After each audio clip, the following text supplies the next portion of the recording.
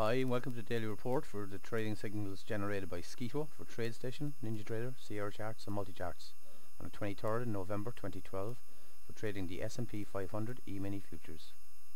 To see today's signals generated by our order flow monitor which are generated in real time without lagging, pause the video wherever you like and make it full screen. Order flow moves before price does. That's why so many indicators let the trader down as they only monitor price and usually alert you only after the move is started. Sceeto is very different. Sceeto monitors order flow and alerts you in real time when the HFTs or high frequency traders are buying or selling, which of course will then result in a price change. This is great information to have in your trading toolbox and hopefully will help you win more trades.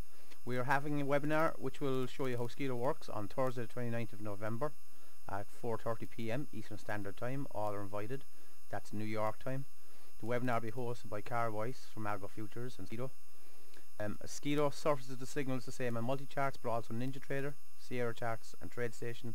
We urge everybody to register now as space is running out. Please in the meantime as well, do please sign up for a free trial at www.sceeto.com and take it for a spin yourself before next Thursday's webinar. That way we can answer any questions you may have. Thanks very much.